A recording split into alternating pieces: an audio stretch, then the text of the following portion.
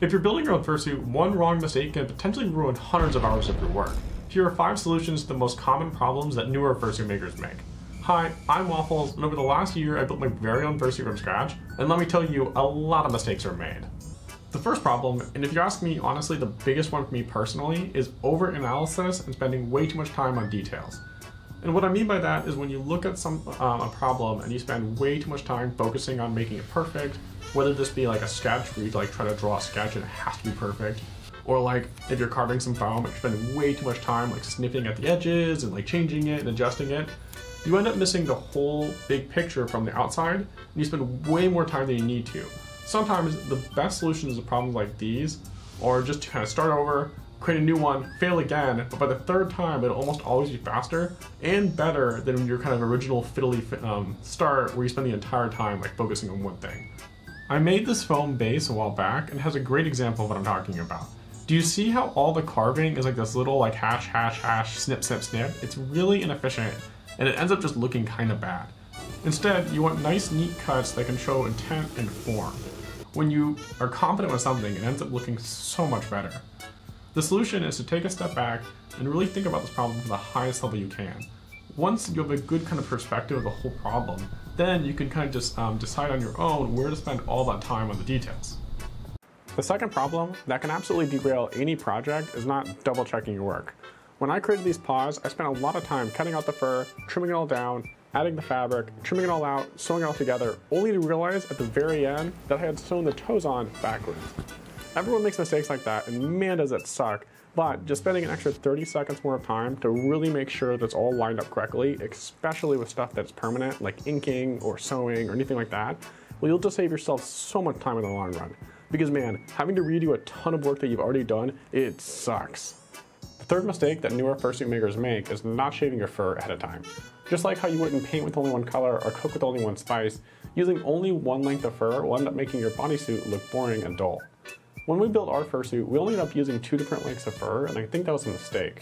Instead, if we just spent more time planning out all of the different lengths of fur ahead of time, we could have given our character way more kind of natural energy and life. Just having those different fur lengths helps so much when selling your character. One of my favorite artists to talk about when it comes to the length of fur is Mix Candy. If you take a look at their work, they're a master at using the different lengths of fur to show different elements of their character. Study their work, get good, Problems like this are really easy to fix once you notice them, and because once you notice it, you'll never forget it, and man, your fursuits will look so much better. Time for a bonus, here are five of my favorite tools that I use while making fursuits. 1. Spring-loaded scissors. They come in all sorts of different types of shapes and flavors, but the reason why they're so good is that they save your wrist while constantly cutting thread. 2. The Ed Head by Monster Makers. It's basically the best model head that you can buy and makes crafting your foam base so much easier, especially when compared to those cheap styrofoam ones. 3. A box cutter with replaceable blades. Having a constantly sharp knife makes cutting fur and foam so much faster. Just make sure that you dispose of the blades properly. 4. A Sharpie permanent marker that you can use to write on fur and foam. These markers are classics for a reason. They are cheap and almost always get the job done. 5. Large newsprint paper. It's easy to use, can make, can make paper templates, and basically is almost always coming in handy. It's another example of a cheap product that's almost always useful. Do you ever have the problem where your fursuit looks lopsided or just not quite right?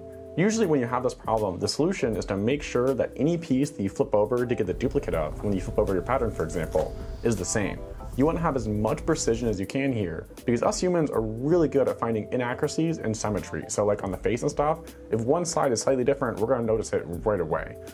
They say the sign of a true craftsman is being able to make something consistently and precisely. You're going to have this problem a lot, especially in stuff like the hands or toes or claws, where you need to make a lot of something precise, and then if any one of them is kind of lopsided, you're going to notice it because it's going to stand up, stand out of the group right away.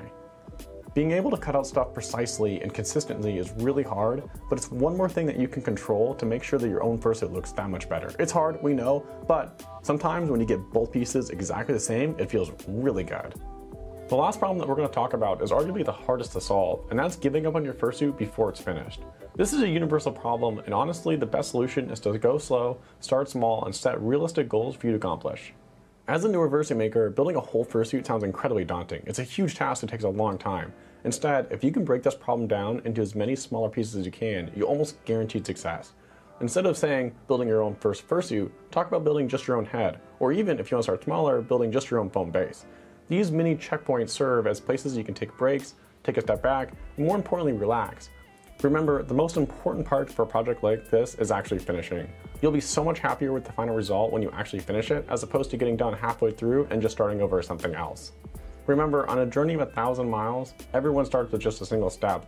Any forward progress you make is going to help complete your fursuit, and you're going to end up being so much happier with it in the end. If you've gotten any value from these videos, I'd please ask that you like and just double check that you subscribe. Uh, just, just double check, just make sure. It helps out so much, and it's a free thing that you can do to help support these videos. Thank you guys so much. I can't wait to see you guys again soon.